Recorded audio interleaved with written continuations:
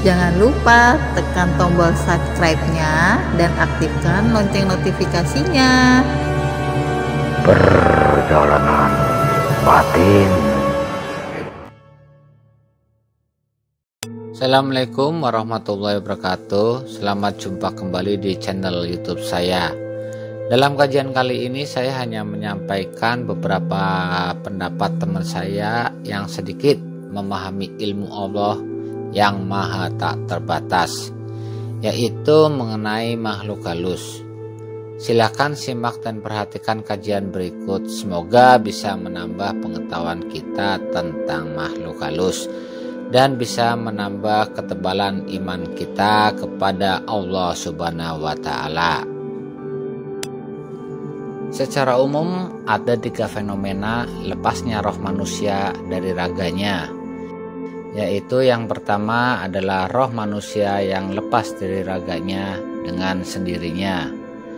Yang kedua, roh manusia yang lepas dari raganya sesudah dijemput oleh roh halus lain. Dan yang ketiga adalah roh manusia yang dijemput oleh roh halus lain sesudah rohnya lepas dari raganya. Juga ada tiga fenomena kehidupan roh manusia setelah kematiannya, yaitu yang pertama adalah roh manusia yang tinggal di dunia makhluk halus, dan yang kedua adalah roh manusia yang tinggal di dunia manusia. Sedangkan yang ketiga adalah roh manusia yang bisa keluar masuk di alam makhluk halus dan alam manusia dimensi kehidupan di alam gaib. Secara kegaiban, ada dua penggolongan besar alam gaib atau dunia roh, yaitu satu dunia halus di alam kehidupan manusia dan yang kedua dunia halus di alam kehidupan makhluk halus. Secara umum, kondisi dan suasana kehidupan di alam roh mirip dengan di dunia manusia. Ada tanah lapang luas berumput, ada gunung, ada bukit, hutan, dan sebagainya. Ada juga komunitas gaib yang hidup di perkampungan, perkotaan, dan kerajaan gaib beserta bangunan-bangunan gaibnya. Secara umum, kehidupan komunitas gaib yang ada di alam roh mirip dengan kehidupan manusia pada zaman kerajaan dulu. Ada yang bekerja di sawah atau kebun, ada yang sibuk berjual beli, ada yang sibuk dengan kehidupan di dalam kerajaan.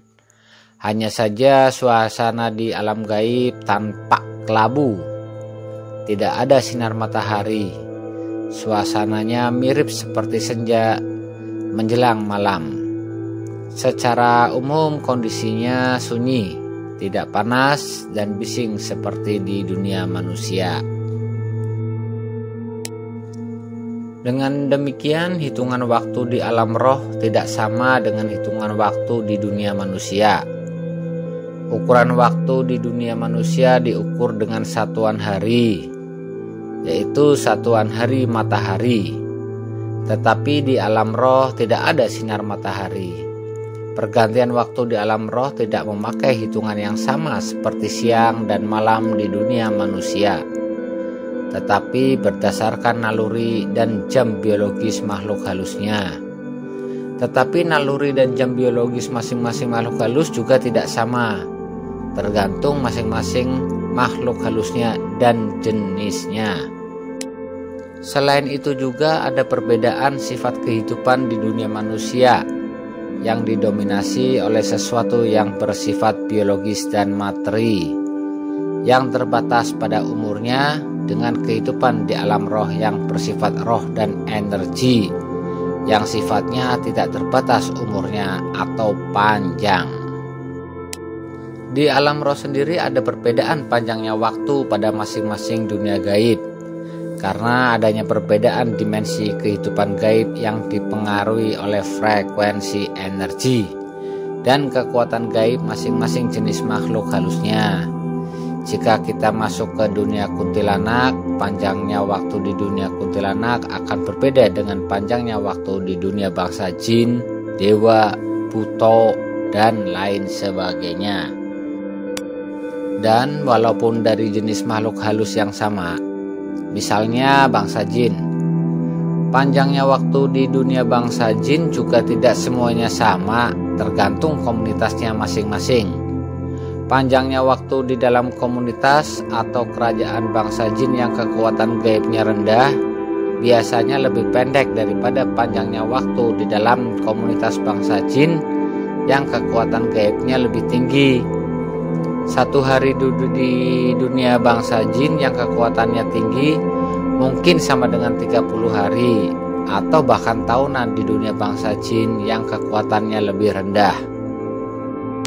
Kondisi alam gaib benar-benar tidak sama dengan kondisi di dunia manusia. Jika kita benar bisa merogoh sukma dan berkunjung ke istananya Ibu Kanjeng Ratu Kidul, di daerah pantai selatan Parangtritis satu jam di depan gerbangnya atau di dalam istananya itu sama dengan 12 jam di dunia manusia. Setelah bertemu dan berbincang-bincang dengan Ibu Ratu Kidul, satu jam di sana sama dengan 30 hari di dunia manusia. Biasanya kita diizinkan bertemu dengan beliau hanya 1 sampai 5 menit saja Kemudian kita diminta untuk pulang kembali. Ibu Ratu Kidul sendiri yang membatasi waktunya untuk keselamatan kita, supaya kita tidak berlama-lama berada di alam gaib. Karena lima menit saja bertemu dan berbincang-bincang dengan beliau, sama dengan 2 sampai 3 hari di dunia manusia.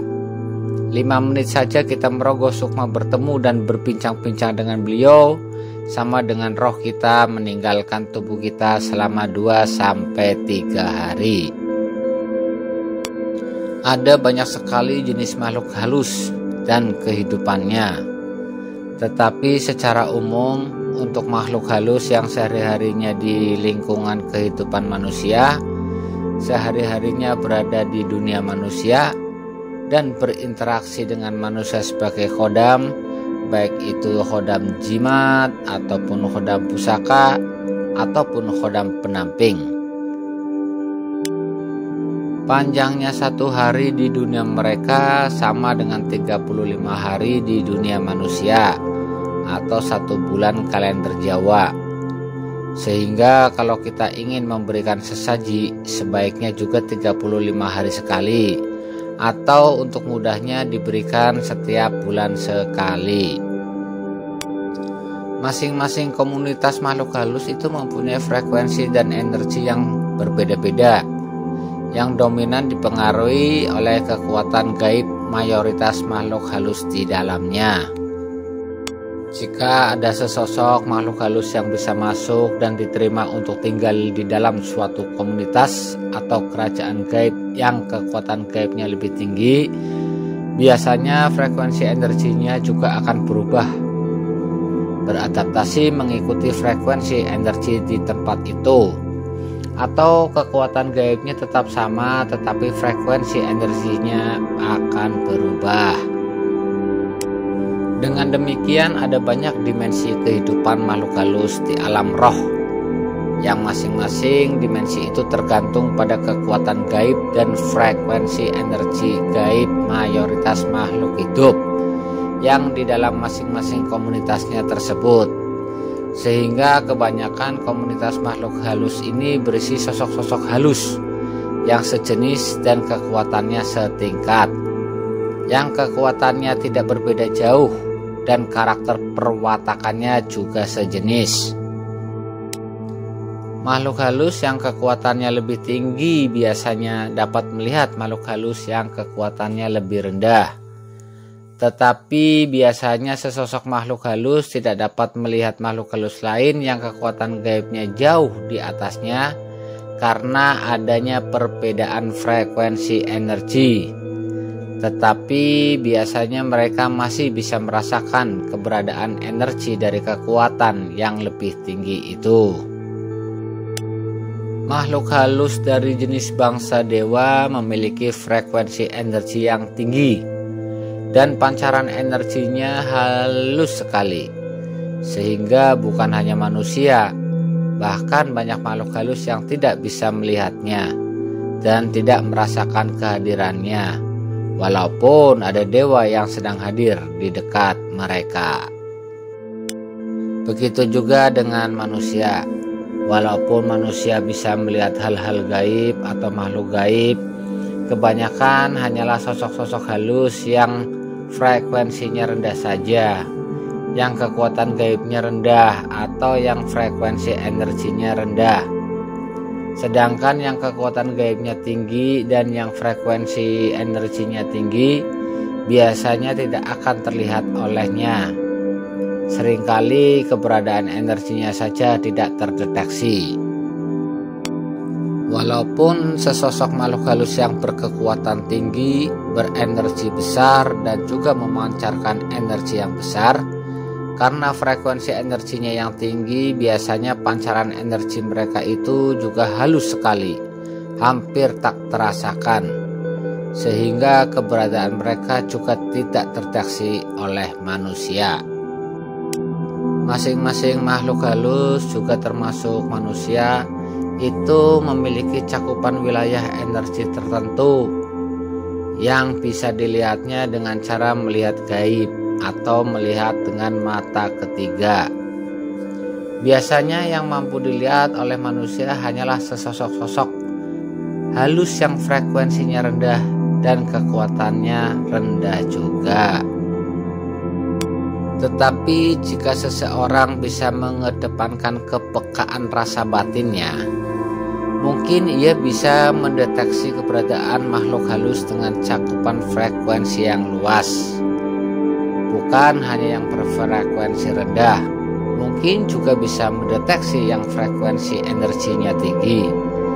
Sesudah bisa mendeteksi keberadaan energinya, barulah kemudian dipertegas lagi sosok wujudnya dengan kemampuan melihat gaib. Frekuensi energi itu bisa diibaratkan sama dengan frekuensi channel siaran radio atau televisi. Ya, yang kita harus menghidupkan dulu radionya dan memindahkan saluran frekuensinya. Jika kita ingin berpindah dari siaran atau dari channel lain, begitu juga kalau kita ingin melihat makhluk halus kita harus lebih dulu mengkondisikan batin kita pada frekuensi energi makhluk halusnya. Dan kalau ingin bisa melihat yang dimensinya lebih tinggi, kita pun harus menambah kepekaan batin kita untuk menangkap energi yang frekuensinya lebih tinggi. Tetapi jika kondisi kita melihat gaib itu bekerja sendiri atau di luar kontrol kita, yang penglihatan gaibnya muncul sendiri tanpa kita harus lebih dulu mengkondisikan batin kita untuk melihat gaib. Dan sering terjadi bahkan di saat-saat kita sedang tidak ingin melihat gaib maka itu bisa menjadi petunjuk bagi kita bahwa mungkin saja kita berkhodam atau jangan-jangan di dalam badan kita atau kepala kita ada bersemayam sesosok makhluk halus yang sering memberikan kita gambaran gaib. Yang mungkin saja gambaran gaib itu fiktif atau hanya ilusi. Atau dalam bahasa kerennya itu halusinasi saja. Bukan sosok gaib atau kejadian gaib yang sesungguhnya. Apabila kita sering melihat dewa atau merasa mudah atau sering melihat dewa-dewa atau makhluk halus tinggi lainnya seperti malaikat itu adalah petunjuk bahwa kemungkinan besar diri kita ketempatan makhluk halus atau diri kita berkhodam. Kemungkinan besar itu adalah gambaran fiktif dari makhluk halus yang bersama kita karena sesungguhnya bukan hanya manusia saja, bahkan makhluk halus dan khodam pun banyak yang tidak mampu melihat dewa dan makhluk halus berdimensi tinggi lainnya, kecuali mereka sengaja menunjukkan dirinya untuk dilihat atau dideteksi. Dengan demikian, ada banyak tingkatan dimensi kehidupan di alam gaib dari yang dimensinya rendah yang mudah dilihat sampai yang dimensinya tinggi atau halus dan susah untuk dilihat atau dideteksi.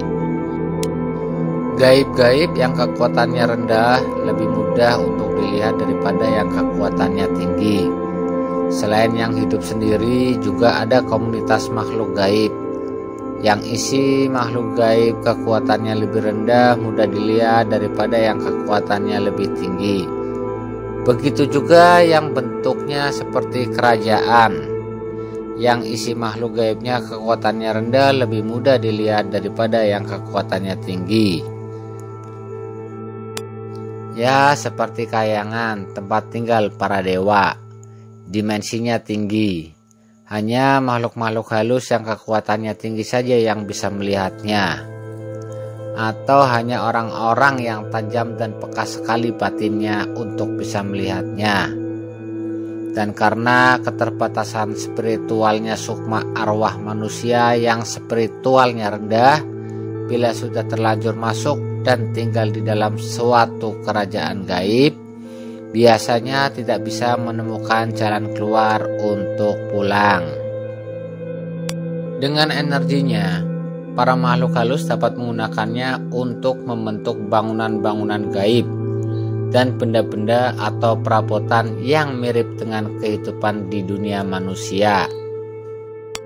Ditambah dengan pancaran pikiran mereka atau kontak batin dan halusinasi, yang mensugesti para penghuninya untuk merasakan suasana gaib yang ada sebagai kehidupan nyata.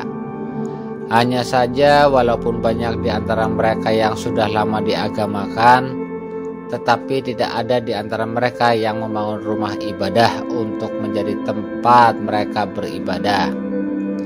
Untuk beribadahnya mereka menggunakan rumah ibadah milik manusia. Sebagian lagi tidak beribadah walaupun beragama. Secara alami, benda-benda alam dan benda-benda milik manusia seperti bangunan gedung, rumah, jembatan, pohon, gua, batu-batu, sungai, danau, laut, bukit, hutan itu memberikan suatu suasana alam atau mengandung aura energi tertentu. Para makhluk halus akan memilih benda dan tempat-tempat yang suasana alam dan aura energinya dirasa cocok. Ya, cocok dengan energi mereka untuk tempat tinggal mereka. Sehingga keberadaan mereka akan menambah kuat suasana alam dan energi dari tempat dan benda yang mereka huni. Secara umum, para makhluk halus hidup di alam roh dan mereka merasakan suasana kehidupan di alam roh. Dalam keadaan di alam roh itu mereka tidak dapat melihat dunia manusia, tetapi masih bisa merasakan kebisingan dunia manusia. Jadi sekalipun di dunia manusia ada banyak bangunan dan berkendaraan yang sibuk berlalu lalang, mereka tidak melihatnya atau sekalipun posisi rumah atau bangunan yang mereka tinggali persis berada di tempat berdirinya bangunan rumah, gedung kantor, atau pasar milik manusia, mereka tidak melihatnya.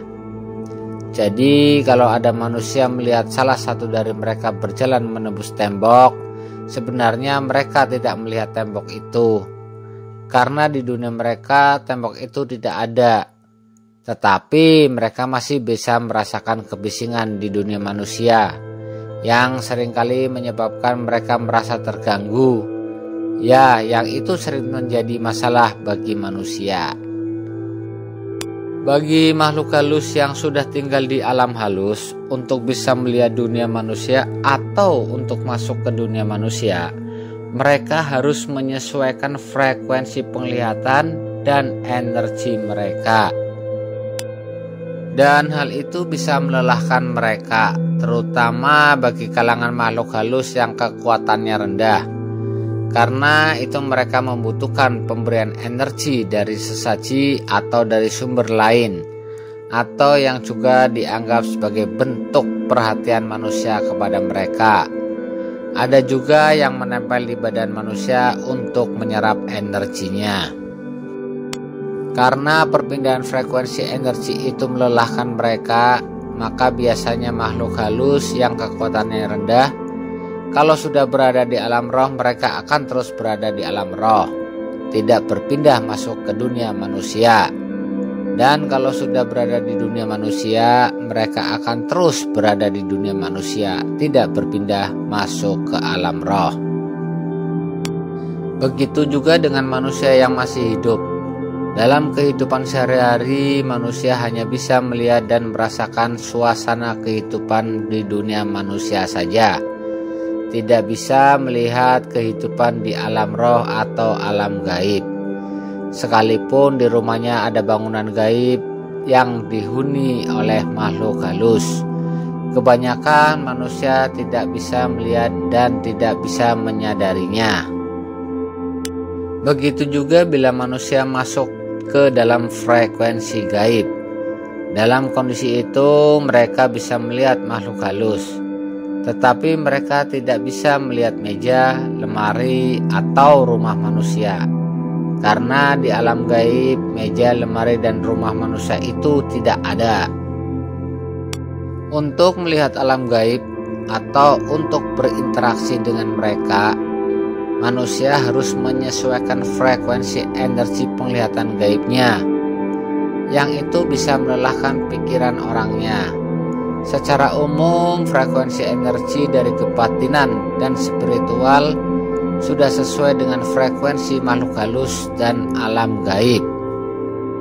Karena itu frekuensi dari energi roh atau sukma manusia dan dengan mudah dapat diselaraskan dengan frekuensi makhluk halus dari kelas bawah sampai kelas atas tetapi dengan menggunakan energi tenaga dalam atau yang bersifat biologis tubuh manusia untuk berinteraksi dengan makhluk halus maka tenaga dalam itu harus disesuaikan dulu frekuensinya supaya sesuai dengan frekuensi energi makhluk halus. Tetapi penyesuaian frekuensi itu tidak menjadi masalah bagi kalangan makhluk halus yang mempunyai kekuatan tinggi.